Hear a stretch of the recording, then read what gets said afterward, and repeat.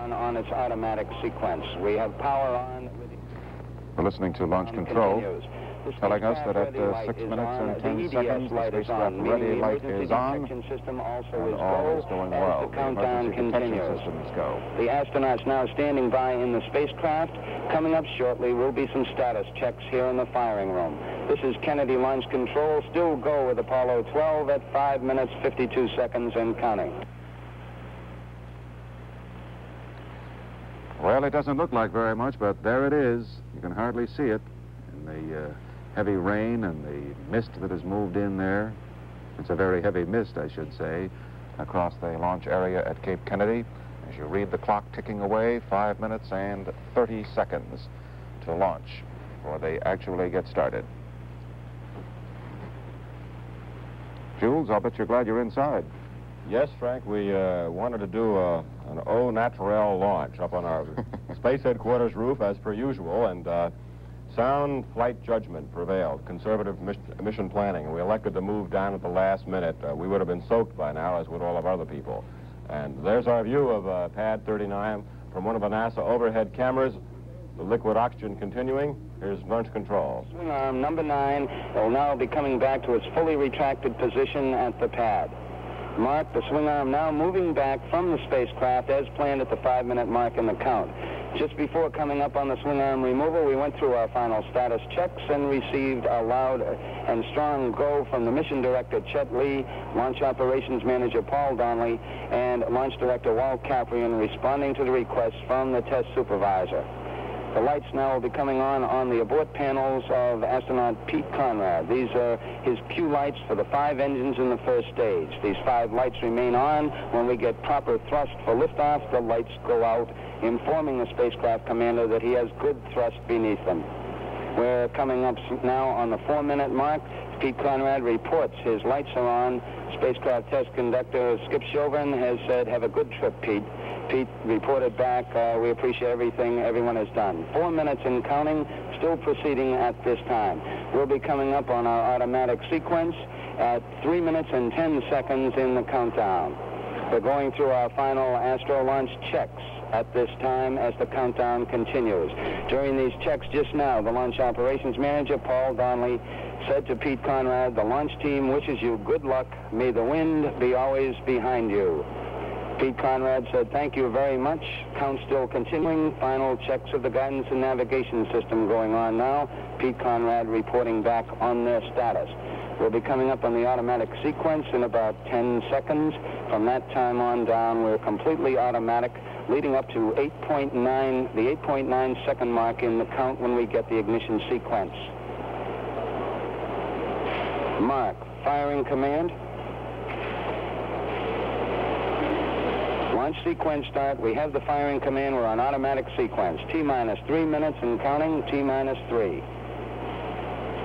Once the automatic sequence began, we begin pressurizing those big fuel and oxidizer tanks, the overall propellant tanks in the three stages of the Saturn V launch vehicle. This will lead us up to 8.9 seconds when the engine ignition sequence begins. The five engines in the first stage will ignite, building up 7.6 million pounds thrust total. This should occur at the zero mark in the count. We will get verification through the computer that we have proper th thrust. The hold-down arms will release and will be off with Apollo 12. Two minutes, 20 seconds, and counting at this time. And the visibility is improved just a little bit over pad 39, still not very noticeably though. 10 seconds at this time. We see that the stages are now beginning to pressurize as our countdown proceeds, coming up on the two-minute mark in the count. T minus two minutes and counting. T minus two. Spacecraft commander now has placed the, the environmental control system of the spacecraft on internal. Up to this time, we've been providing external sources for the environmental control system. We we're checking the hydraulics of the first stage of the launch vehicle now. We are still go. One minute, 40 seconds, and counting at this time.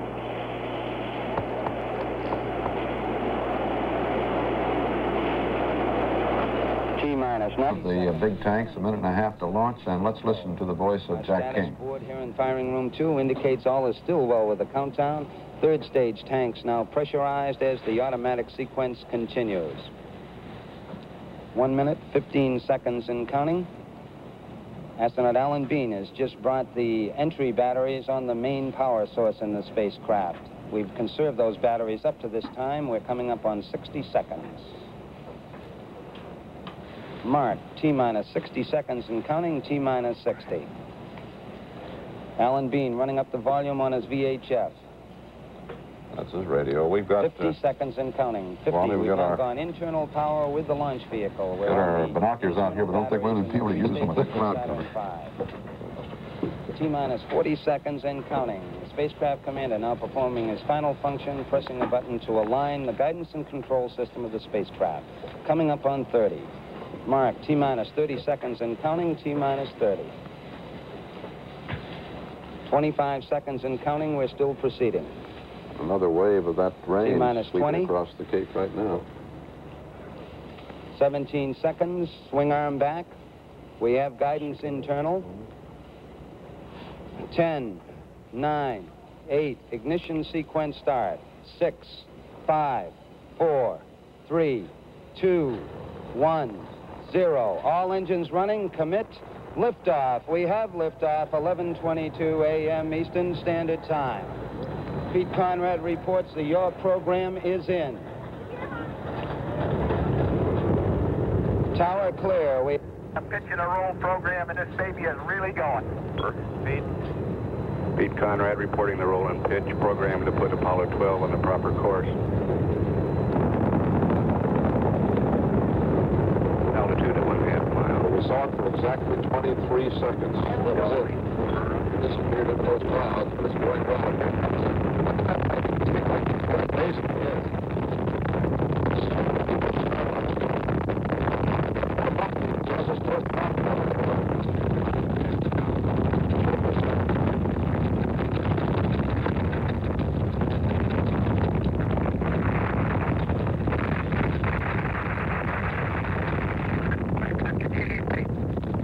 Okay, we just lost the platform, gang. I don't know what happened here. We had everything in the world drop out.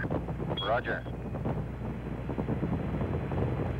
Plus one. Fuel cell lights and AC bus light fuel cell disconnect. AC bus overload one and two. Main bus A and B out.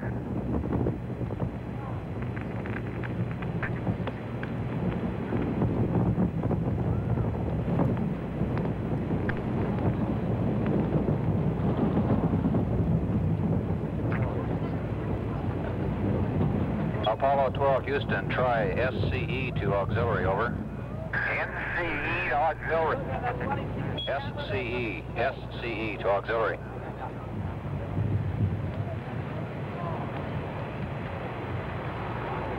EECOM reports the readings back.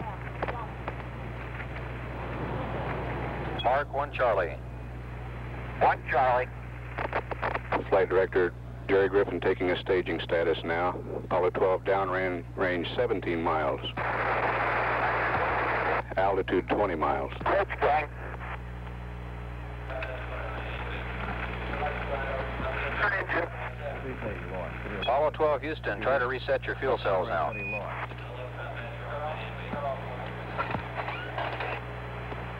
Conrad is having trouble. He doesn't say exactly. Inboard engine out on schedule.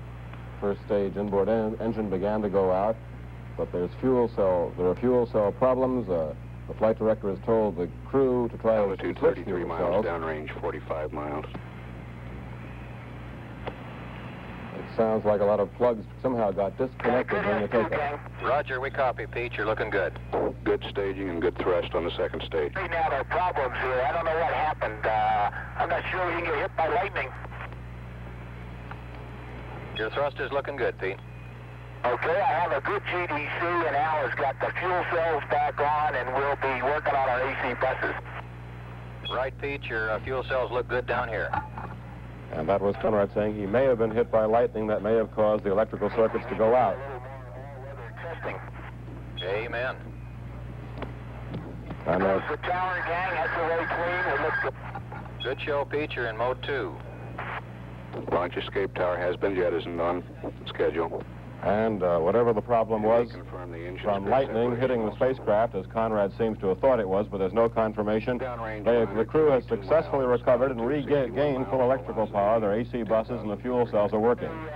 And the mission is continuing. That's right on, and we've got a cycling CO2 partial pressure high, which I don't bother me particularly, and we have reset all the fuel cells. We have all the buses back on the line, and we'll just square up the platform when we get into orbit.